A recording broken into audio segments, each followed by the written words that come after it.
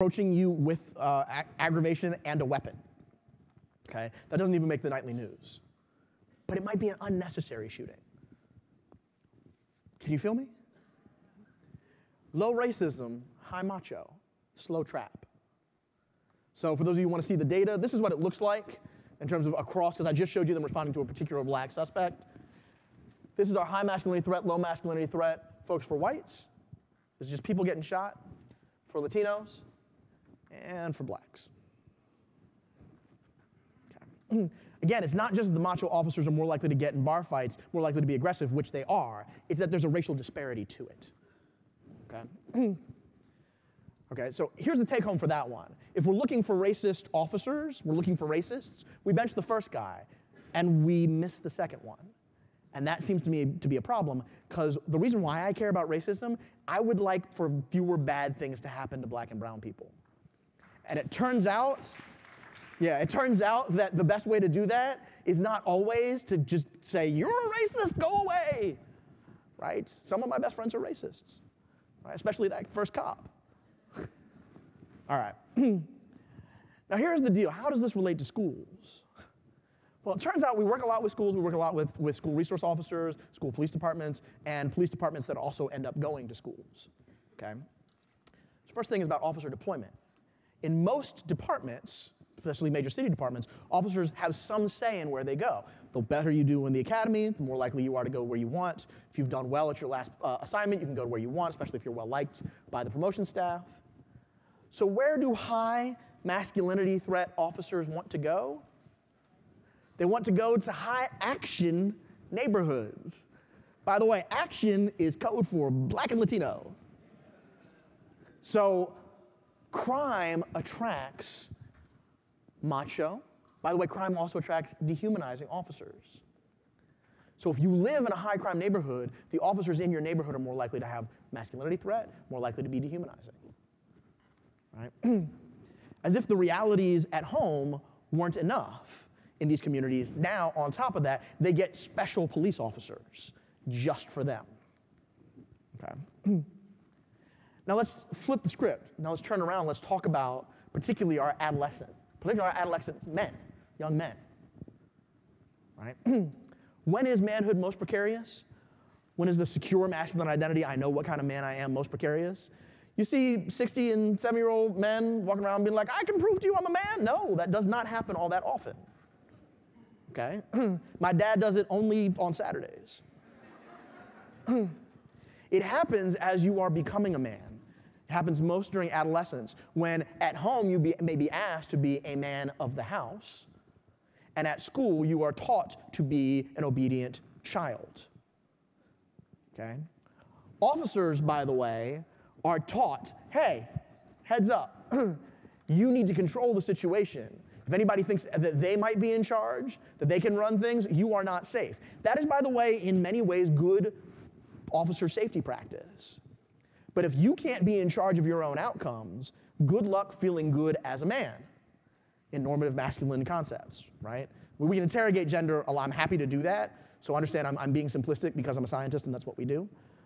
Um, but that creates a tension.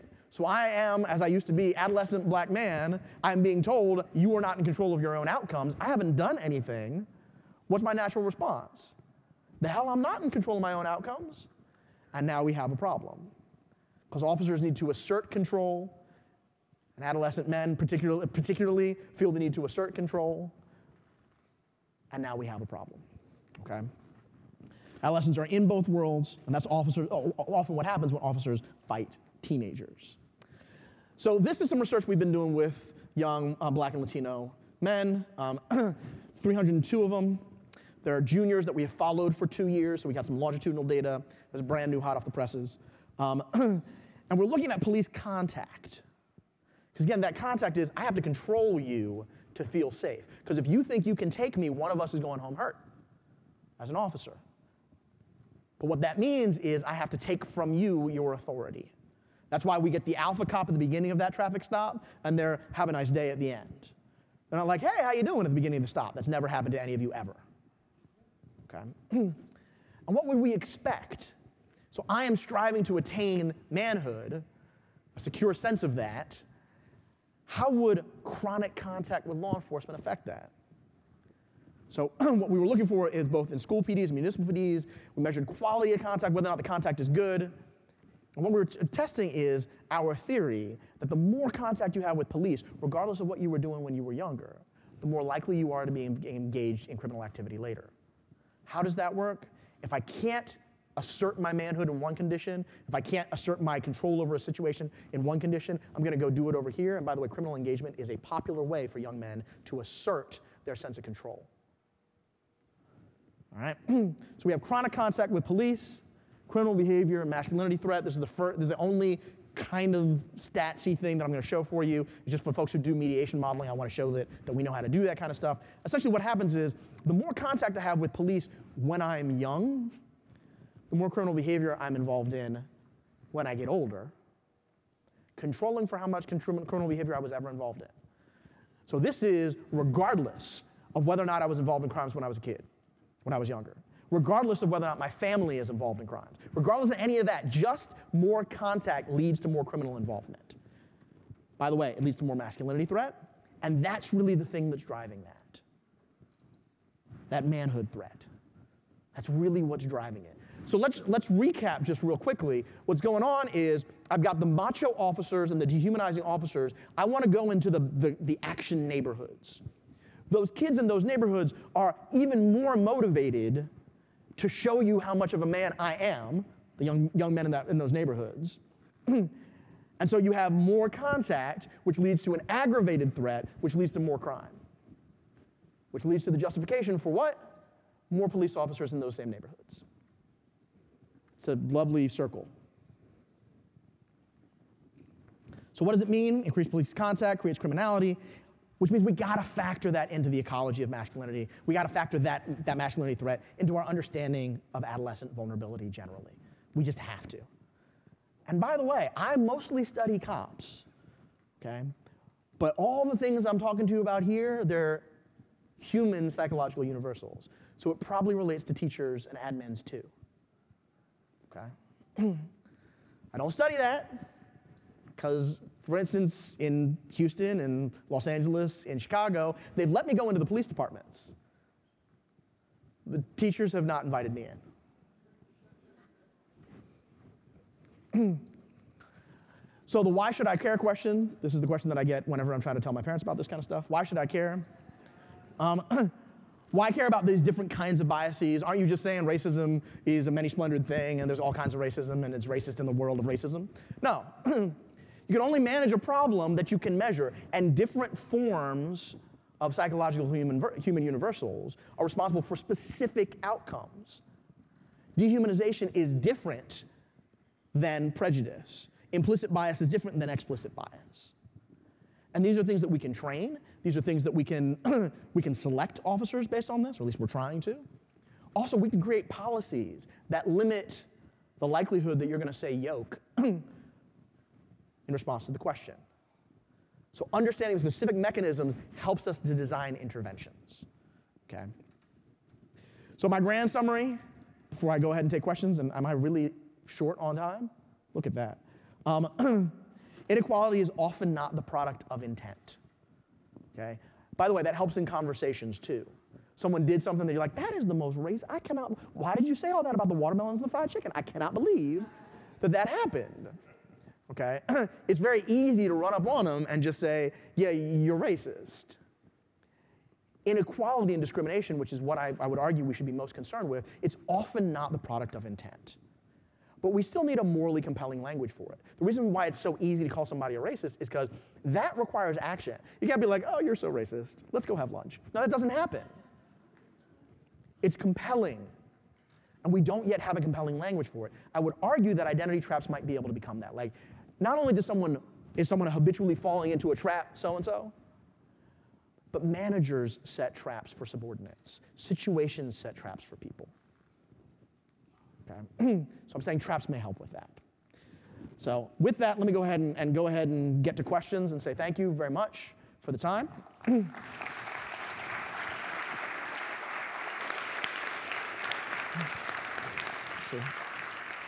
I don't know exactly how much time we've got for questions, but I, I understand there's going to be mics here I will, I'll mostly just point though, and if you guys can be loud, I won't mind. So go ahead. Hi.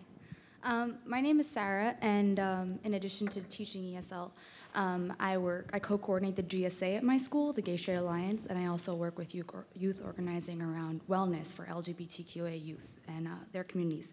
So I'm really interested in this idea of macho as being in charge of outcomes, and I was also interested in the fact that the the the guy who was threatening the police officer with the stick was macho or masculine of centered or cis male. Mm-hmm. Um, and I'm curious about what you think about the idea of queer young folks um, I guess, threatening how a person could be in charge of their outcomes. You know, I have a student starting in the ninth grade, he's now an organizer, but he would walk in and the safety agent would call him a faggot when he walked in in the morning.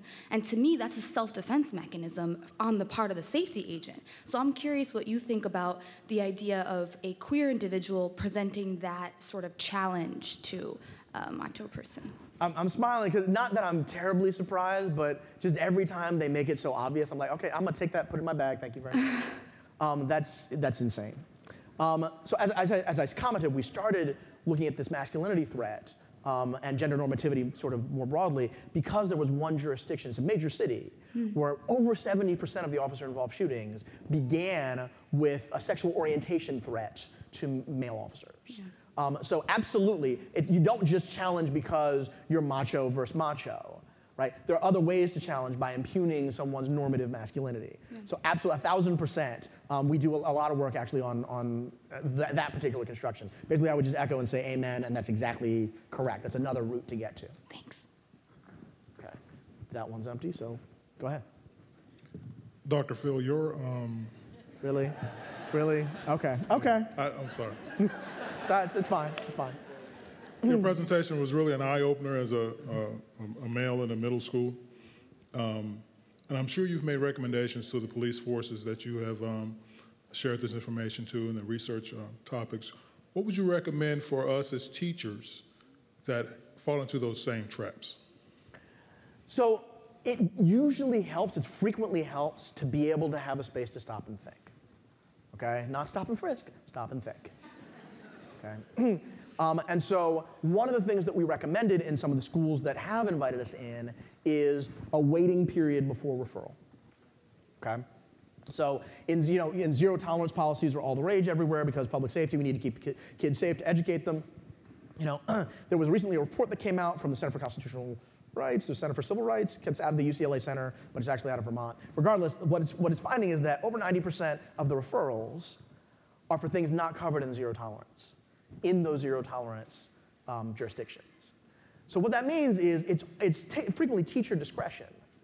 So if the teachers can cool off and let the kids cool off and then decide, is this something for which I should deprive a child of an education, that's going to help. It's going to help tremendously.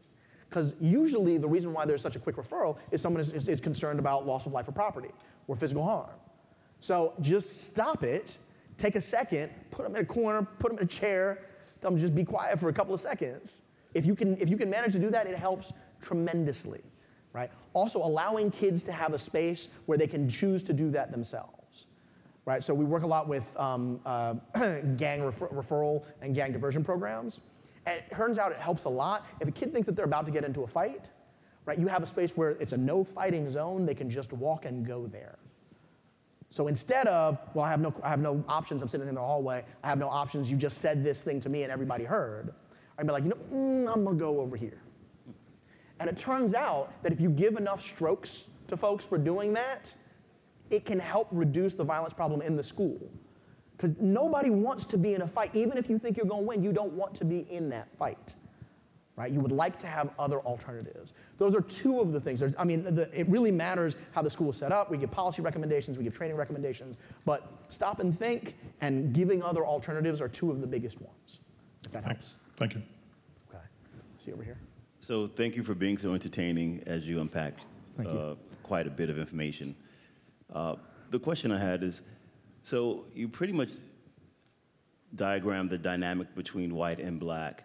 Um, and I don't want to miss out on the fact that having done some of the research, that black students are suspended equally as much by black folk as well.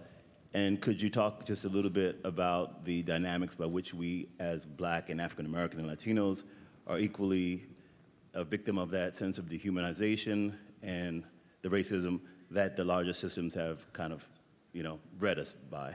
Okay. Well, thank you for that question, and that gives me an opportunity to clarify. What I showed you are human psychological universals, right? It, it fits neatly, or more neatly, into a black-white paradigm. And by the way, I, I don't just deal with black and white, it's just there's a lot of research on that, and this is stuff that translates very easily. Um, but black officers were doing this too, just the black officers didn't consent to me videotaping them. I guess they, they knew they were what they were about to do. Um, so it's not the case that what I showed you is a, is a black-white only, right? It's black officers, Latino officers, Asian officers. And by the way, it's straight officers, queer-identified officers. There are advantages for having a diverse and representative police force. It's just they don't show up in this. So it's disappointing. We, we almost assume, well, no black person is associating black people with apes, except sometimes they do right? And it's not that, well, it's the bad black people that are on this. Mm-mm. We had it with black college undergraduates at some of the most prestigious institutions in the world do the same thing, right? Implicit bias is not, I don't like you. Implicit bias is, I'm paying attention. These associations are they're activated because they become automatic. We see them, we take them in all the time. Right, so I asked this question of, of folks if I am seeing black people and it is the news, and it is the last 10 minutes of the news, what am I watching? I said, the, the crime segment. I mean, in LA, I'm watching the, the crime segment, right? I don't even have to really be watching. I'm usually grading papers or writing papers, and the news is on, and I'm like, blah, blah, blah, blah, and I hear the, a, a black accent in my ear. I'm like, oh, the crime section's on. You just take that in. I'm just paying attention right? And we have a sense, that's why we keep kids away from certain things. We want to keep them away from certain video games. We want to keep them away from certain things on the internet, because we have a sense it will influence us. By the way, it doesn't stop when you're a kid. You learn this throughout your life. You would develop these sets of associations, and they impact your behavior, especially in moments when we don't have time to think. So it is black, white, Latino, everybody that I'm out, outlining with this. I wish it were different, but it's not. Um, I saw that you like about the part where the um, masculinity threat. I was wondering if you did any research on like aggression related to um, females having like a problem with the male dominance thing coming from police officers. So like I just wanted to know if there was like any research on like how that's connected. Um, you couldn't see it, but the reason why there was a, a, slight giggle is because you asked a question for you and the question behind you. So, but so, oh. so that, that, was, that was two good questions. Well done. Um, so I like getting a chance to, to talk a, a, little bit more sophisticatedly about uh, uh, gender and the way it plays out in this. We do have some research on this. So of, uh, you saw of the, I think it was 63 in that study, 57 of the officers were men. Well, there, that means that there were six women in there. What do they act like? Well, we've done these studies all over the country, and it turns out that women are not that concerned about their manhood. Turns out. Could have gone either way, but it turns out they're not that concerned about it, unless they're under five foot two. I'm not saying that women under five foot two are suddenly masculine. That's not what I'm saying. Okay, my girlfriend would be very upset with me. Um, It turns out, though, that there's a need to assert a kind of aggression that looks very masculine gender typed if you are diminutive in size. Right?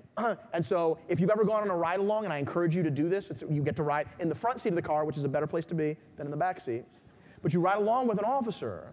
I, I have the uh, occasion to ride along with a lot of, of women police officers. And the women police officers on the first stop, almost invariably, they, they show up to the door, and some man opens the door and says, who ordered the stripper? Now, it's funny until you recognize that that's their life, that's their reality every day at their job. If you showed up to your job every day and someone said, Who ordered the stripper? that would stop being funny really fast. You have to assert a different kind of control over the situation. Right? So that's, that's one component of it, is that women, if you want to make uh, less violence in a police force, hire more women, especially tall women. But that was not fully your question. Well, yeah, fo- I meant like for the on the opposite end. On the opposite end, what we find is that women over uh, the course of a lifetime, especially as they get older, have really good ways of de-escalating situations with men. because they've had practice doing it, right? so, uh, regardless of sexual orientation, women have encountered lots of men and they've dealt with their stupidity for years and years, and they usually find good ways of de escalating. What you do find, particularly among uh, queer identified women, though, is you do find that there's a sense of I need to be in control of my physical space and my bodily space, right? In a different way as a result of negotiating a queer identity in a world that has hated queer bodies. Right? So what we do find in, in trans communities and in queer identified communities is that everybody responds negatively to the macho officer. And it does tend to escalate, particularly in queer communities. I, the data are not that great about it because it's hard to get folks in queer communities to answer these kinds of questions. We say, hey, we're doing research on the police. Hey, where are all you going? I don't understand. Um, but for what limited information we do have, we are seeing exactly the kind of thing that you're thinking we would. Okay. Go ahead. Short. Um, I have a question about, you talked a lot about fast traps and not so much about slow traps, and I was kind of curious about what the, what's the word I'm looking for? Some of the things that happen due to slow traps. So the masculinity threat is, is one thing that I would call a slow trap, right? So that, I apologize if that's not uh, uh, super clear. The other one that is most common and the biggest problem for us um, is uh, really ironic. Officers that are concerned about being seen themselves as racist are more likely to engage in racially disparate use of force. Because again, I've, I've got to control the situation. If you think you can take me, one of us is going home hurt. So, what form of authority do I have to control the situation? Two forms. The first is my moral authority. You do what I say because I'm, I'm wearing itchy blue polyester, right? I got this badge on, you do what I say. Okay? If I lose my moral authority, I've only got one form of authority left, which is my physical or coercive authority. So what happens, I'm an officer, and through experience, I know this car full of young African American men are going to call me racist. Where is my moral authority? I, I, I left it in the car. So anything gets escalated even a little bit, and all the only kind of authority I've got is physical authority. Those are the kinds of slow traps where they take up so much of your brain space, you can't do anything else. So kind of, does that make sense? Have I done a decent job that time? All right. Thank you much. I'm, I'm looking here at time. I don't, I don't have a set. The folks in the back, I think, are trying to, to start me from stopping. So let me take this one last question. I'll try and be brief in my answer. I think we're going to have to wrap up. Hello. Um, I just wanted to ask you a quick question about the masculinity. Mm-hmm. Um, so, do you feel that uh, the the lack of a masculine feeling in black youth is disproportionate to the youth of other races, and if so, why? Okay, that's a, that's a great question. Um, so I want to I want to clarify something. There's a difference between not feeling masculine and feeling the need to prove it all the time. I may feel plenty masculine. And in fact, if you got a question, I'll answer it. I'll show you. Okay? That's different than, you know, masculinity is not that important to me. Okay? and what we find is that need to prove it is higher in black and Latino communities right? Because of, frankly, a, a disconnect between the expectations of gender roles at home and the expectations of gender roles in school and in work and other places. So what's happening is you have employers of youth and teachers who are expecting really obedient, subservient behavior. And they expect it actually more from blacks and Latinos. They, they require it, I should say, more of blacks and Latinos than they do of whites. But at home, blacks and, black and Latino youth are being asked to be more adult. And that disconnect makes it really hard to manage. By the way, just if you go and you, you watch it, and those of you who work in the homes and between homes and schools, you see it, it's just a hard thing for human beings. So this is not a genetic thing at all. That's not the kind of stuff that I do. Right? This is not a pathology thing. Well, it's, it's part of black culture and, you know, since slavery and it's dysfunctional. And it's none of that. This is a human thing. Anybody in that situation would feel that way. But we do see the need to prove it more in the communities where you see the larger disconnect. They happen to be disproportionately black and Latino. Thank you, doctor. All right, I, am going to have to, to wrap up there because they're giving me signs in the back. So thank you very much. Can we, we'll, we'll grab right afterwards. Okay, thank you. Sorry. Oh, sorry.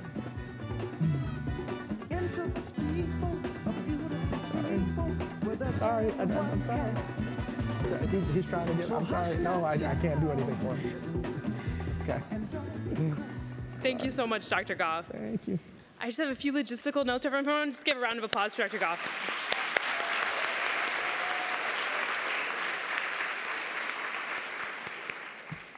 So just a few logistical notes for everyone. We're going to have a break until 2:15. Uh, and then after that, at 2:15, if you could report to the morning, the same rooms where the morning sessions were held, we're going to be repeating those same sessions. Um, so if you had a second choice that you wanted to go to, now's the time.